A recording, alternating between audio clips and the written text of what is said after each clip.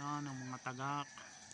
Pag umaga, pumupunta ng lawa ng talo, dagat. Pag hapon naman, bumabalik na sila. Yung dami oh. Yan pa parating. Yung. Yan pa. May parating pa. Ang dami. Yun. Ayan na. Samahang nag-iisa. Tagak.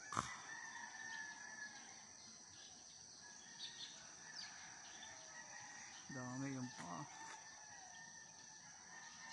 O yun. Paparating na naman. Ang isang batch. Yan. Isa pa isang batch. Yan. Tagak. Ang tawag sa kanila. Oh, meron pa rin dito. Yung. Yung. Ito pa, yan. Ito, naligaw yung isa.